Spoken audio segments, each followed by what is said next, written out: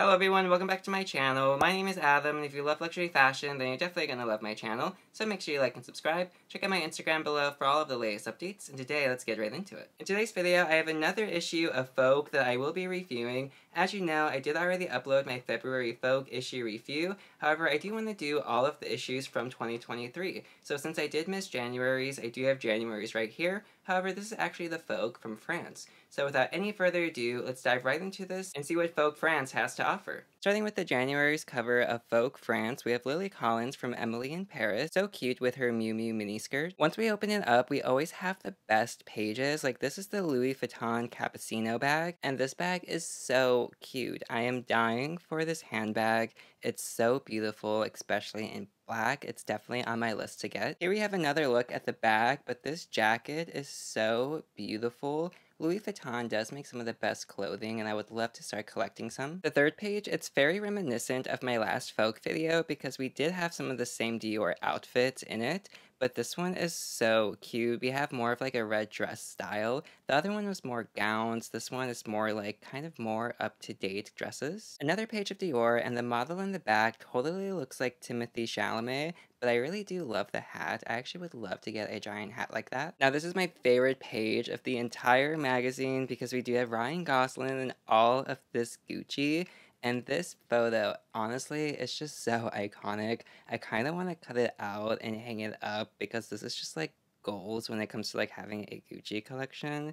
And Ryan Gosling, I'm currently obsessed with, especially because he is going to be playing Ken from Barbie. And we all know I am obsessed with Barbie. So since he is now Ken, he is now forever in my heart. Next, we have Chanel, and she totally looks like Jennie from Blackpink. I'm obsessed with her pink outfit. So adorably cute. Chanel is becoming very popular for their SLGs, their small leather goods, like mini purses like this. So cute. And I actually do like the t-shirt. It's very like Nickelodeon, but if Chanel was Nickelodeon. Now we have Prada, and of course I have to showcase Prada because we all know it is one of my favorite brands right up there with Versace. And this is a holiday edition handbag, this gold one. So cute, but very, very golden. For YSL, I am loving the all black look. The black silhouettes are so cute, especially with the rocks and the water in the background. So earthy and very, very cute. Again, like in my last video, we have a bunch of Fendi baguettes. Now, the little Fendi baguettes on the hats, I think, are so adorable. And the colorful sweater to the left, I can definitely tell that that sweater would be so comfortable and very, very cuddly. Once again, we have the Miu Miu, and this was featured in my last video. However, if you haven't seen the last video, I do talk about this handbag. I really do want this handbag. It's just such classic Miu Miu, and I would love to have it. Now we have Burberry, and Burberry is so beautiful. This dress is actually so surprising because the embroidery of it and then the sheerness, this is just so cute. Now, I've actually never seen this dress before, but I am totally loving it, and this is just so beautiful. Forwarding to the Dior jewelry section, this ring, so beautiful and so iconic. I would die for this ring. This is just so, so beautiful. Check out that giant rose with the diamonds. Now, I do believe that the diamonds are actually the ring, not the actual flower, but they should 100% put these diamonds on that flower and make this entire thing a ring, and I would totally die for it. This is just so beautiful. And if this entire thing was the actual ring, that would be so insanely expensive, but so worth having. More for diamonds, we do have Bulgari, and this diamond necklace is so, so beautiful. I believe Kim K actually bought a vintage one from them, and it is so insanely expensive. I think Kris Jenner even has it too. That one would totally be like locked in like a vault and a safety deposit because it is just so pricey, but so cute, and I would honestly love to start collecting diamonds. I will say that looking into the Vogues, I am discovering a lot of new brands, especially when it comes to high-end jewelry, so that is really, really cool. So here we have a brand called Tasaki, and this one is just so cool too. Now, I'm loving like the pearls and the shapes of all these rings and the diamonds. But also I must mention on the left side, we do see the earth and it is not in the greatest state very, very sad, and we really do have to start taking better care of the planet and start caring more for each other. Now, yes, we have Beyonce, but the real star of this page is this giant silver outfit. So, so, so Alexander McQueen. I totally love this. This totally needs to be paired with the Alexander McQueen boots. and that would be so iconic, the armadillo ones. So amazing. I would love to have this outfit. Now, this is probably my favorite page out of this entire magazine because this outfit from Schiaparelli is so amazing. This one is 100% like old Hollywood mixed with Cruella de. I would kill for this top. So, so amazing. This one, hands down, bravo absolutely in love with it. The next page, of course, I had to show you because we have the Balenciaga Hourglass bag. Now, I know Balenciaga, they have a lot of controversy right now, but in all honesty, I don't care.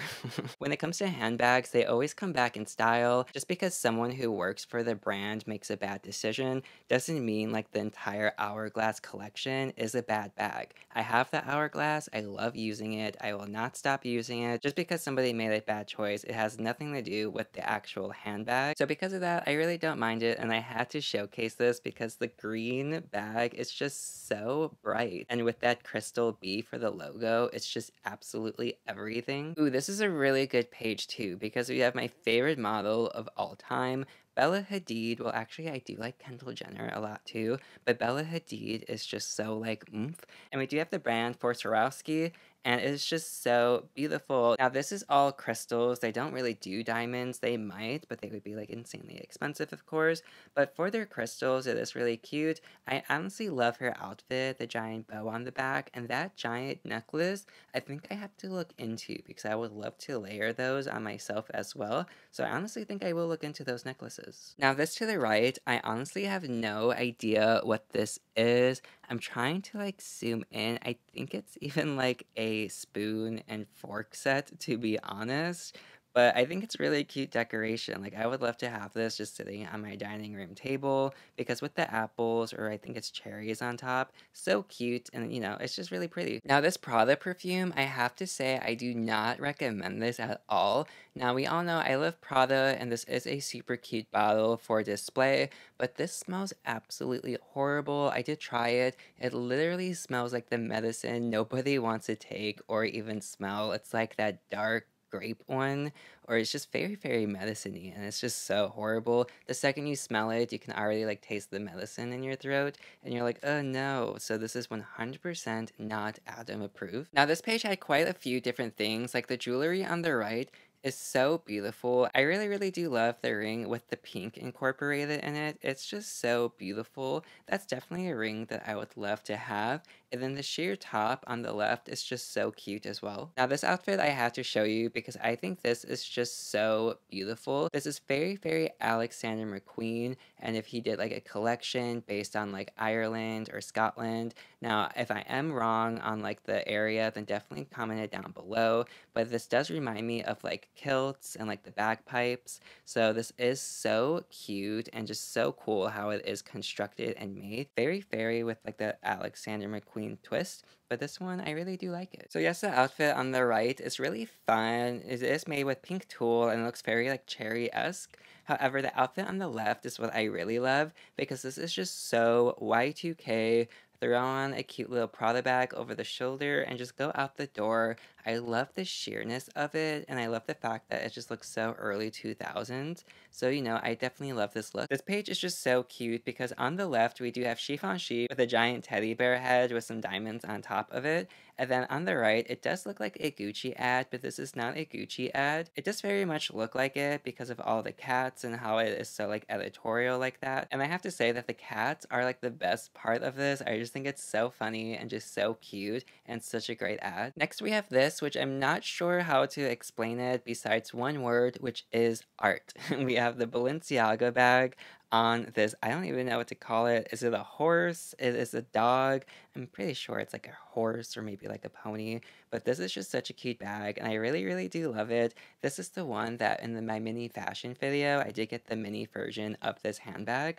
So cute. Definitely adore that. And then on the left, you know me, I love pink and I love anything feathers or fur. So, you know, this it's just so beautiful with the pink feathers and then the like orange jewels. Next on the right, we do have a beautiful Saint Laurent dress. And I'm totally loving this dress because it does give me Kate Hudson vibes from the movie How to Lose a Man in 10 Days. And this is just such a beautiful, chic outfit. Also reminds me of Hailey Bieber, and this is just so effortlessly beautiful. Here we have a giant black dress, which is just so beautiful, 100% like a Giambattista vibe.